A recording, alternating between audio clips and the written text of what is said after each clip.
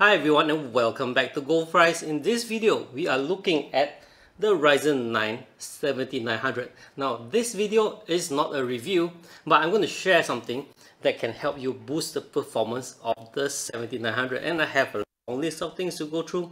Well, starting off, I've been an AM5, AMD AM5 system user for ever since the launch and I really like it and yes even my work rig at the back there it's on AM5 I'm using it for months now. Totally no problem. Absolutely loving it. So, I'm a huge fan of the non-X model. So I'm using a 7600 as you've seen in my review before. I really like that one. And I also have a 7900 absolutely nice CPU but in case you didn't know it yet these non-X models while they run at low power draw and low temperature, you can actually boost the performance. In my experience with the 7900, I got it to boost some like 20, almost 25% from the performance out of the box. Yes, one quarter of the performance set you get from the box. Of course, it will run warmer, but nevertheless, you know that you can get performance out of that. So in this video, what I can would like to show you is it's not even manual overclocking or fine-tuning but just about loading some presets.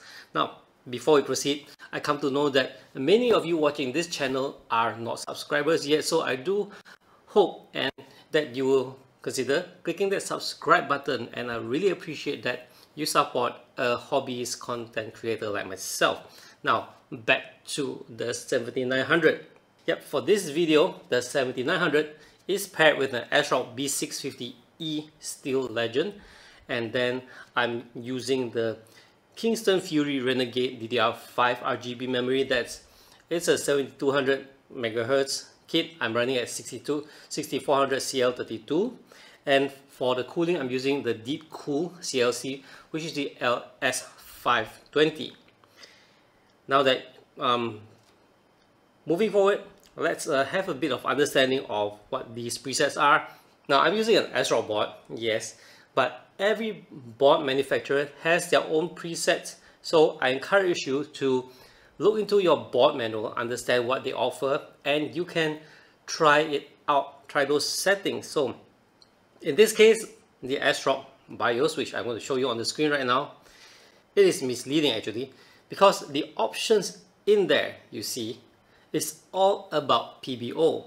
And the first option being auto is actually not auto because the first option is actually disabled.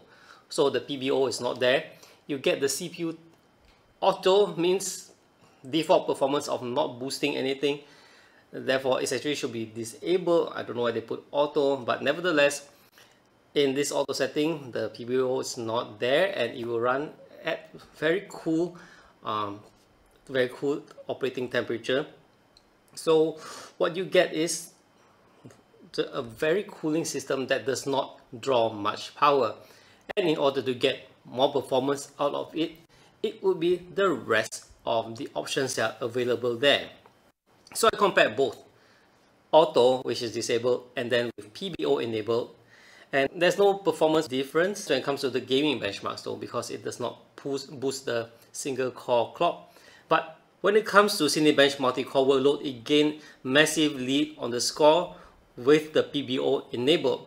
And for the DaVinci Resolve, to process a 5 minute 4K 25 footage on H.264, the time did reduce. I can't be going through all the presets, as you can see there's so many of it. And therefore, I will just go through a few with the PBO enabled and also with the temperature cap and voltage reduction. With this, I'll have to explain a bit what these things do. Now, show you on the screen the options again. With PBO, what PBO does is that it boosts the clock speed. It will boost as much as it can based on the temperature limit, which is for this one, should be 95 degrees Celsius. And it will draw as much power, boost as much clock as it can. And with that, the difference is huge. Without PBO, it runs at just about 60 degrees Celsius, while with PBO enabled, it boosts to, with a boost, the temperature actually hovers in the average of about 90 degrees Celsius and this is average, it's not peak, this is average when I'm running blender workload. When you set the temperature limit, it will still boost. However, it will lower down the, the, the power draw to maintain at that temperature level. So what you get is a control a control say let's say control performance based on the temperature. Over to the next type of option you will see that there is the, voltage undervolting. It's like minus 20 minus 30 minus 40 all these will tell it's like it will force the system to draw less power. You see when you are running all these things it will draw power to boost and with the setting when you set the limit it will actually offset. So you're forcing the system to take in less power. So it generates less heat and with less heat generated it can go higher clock. So and with that I'll just have to give you an example because this is how an AMD system works. So I'm going to put the device down. Okay so let's say the settings is with a certain setting you reach 5 gigahertz and 85 degrees Celsius. And when it draws lesser power for the same clock speed it can be running at a few degrees lower, let's say 82 or 83. And when the system say, says it's like that, it has headroom of 3 degrees Celsius, what it'll do is it'll draw more power to boost everything, the clocks higher until it reaches the temperature limit of 85 degrees Celsius. So you understand where it goes now. Let's look at the chart here for you to understand it better. As you can see from my preset, on auto, it runs at the average of around 4.3 gigahertz and the temperature being around 60 degrees Celsius, very low. With PBO enabled, it goes to about 5 gigahertz and running at around 88 degrees Celsius, which is very high. With the temperature and voltage reduction set, I got 5.16 gigahertz average at 85 degrees Celsius on the minus 30 and 5.2 gigahertz at 85 degrees Celsius, which is same temperature, on the minus 40 preset. And this is exactly how I tuned my 7600, but that was with manual tuning. This one, I'm using the presets available on the motherboard without even having to resort to AMD's Ryzen Master software. Check out the difference here for Cinebench multi-core workload. With the results with PBO, it looks like it's from another CPU, which probably is the closest to like the 7900X's performance which is why I like the non-X models. Enable the PBO if you want the performance to be like the 7900X at lesser price point, or disable the PBO to run it cool and quiet.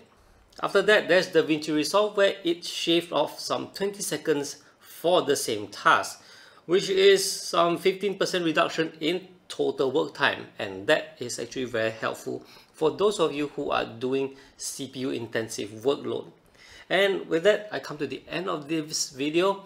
I hope this video will be helpful to you because um, you might be using a CPU like this and without diving into like the details in the BIOS, you never know what you're missing out. And yeah, that's all for this one. Thanks for watching. I look forward to see you in my upcoming videos. There are more findings to share and more reviews to come. That's all for this one and bye bye.